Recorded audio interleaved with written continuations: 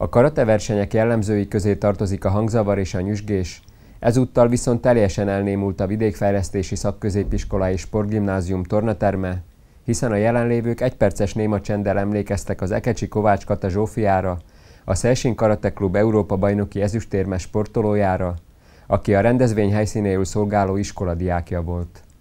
Zsófi édesanyja is szólt az egybegyűltekhez. Hálás vagyok a családommal együtt mindenkinek, aki bármilyen formában támogatja a mai rendezvényt.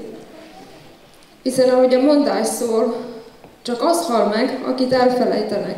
De biztos vagyok benne, hogy ezzel az emlékversennyel Zsófi emléke sokáig fennmarad. Zsófi fél életét töltötte ki a karaté, hiszen 8 évesen kezdett foglalkozni vele, és gyakorlatilag a minden évé vált. Nagyon sokat adott neki, nagyon sokat kapott, ettől a sporttól életformájává vált. A klubvezetés és a sportolók is felidézték Zsófival kapcsolatos emlékeiket. Zsófi nagyon fontos egyéniség volt, nagyon szerettük őt. Idén volt az, amikor úgy tényleg azt mondanám, hogy megkomolyodott, fordult egy nagyot. Én nagyon-nagyon sajnálom, hogy, hogy, hogy ez a személyiség nem tudott igazán kiforni.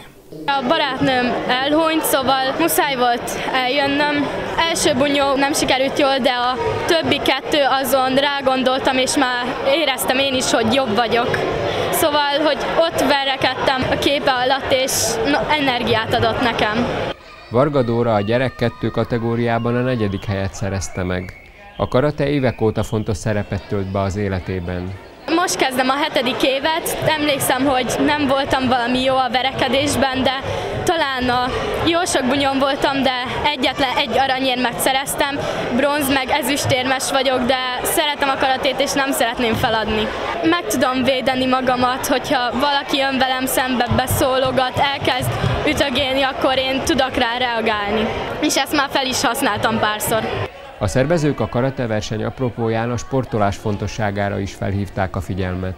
Gyerekkorban mozogni kell. Mindegy, hogy mit. Tehát nem feltétlenül karatét, az lehet birkozás, úszás, futás, foci, ki mit szeret. Az a lényeg, hogy szeressék, amit csináljanak, és, és mozogjanak minél többet. Ugye sajnos nagyon sokat ülnek az iskolapadban, lecke és a többi, tehát minél többet mozgatni a fiatalokat, ez egyik fő célja a klubnak. A szülő felelőssége az, hogy igenis fogja meg a gyerek kezét, vigye el bármelyik klubba, vigye el többe, nézesse meg a gyerekekkel, hogy itt ilyen edzés van, itt olyan edzés van, melyik tetszik, és írassa be. Az igazi változás akkor jön meg, ha valaki kitart, és évekig itt van, velünk marad, akkor, akkor már a személyiségében is egy nagyon komoly fejlődés alakul ki.